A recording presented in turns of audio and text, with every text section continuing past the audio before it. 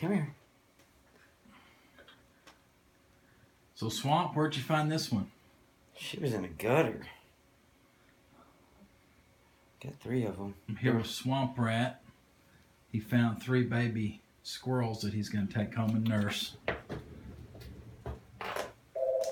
It's okay. It's okay.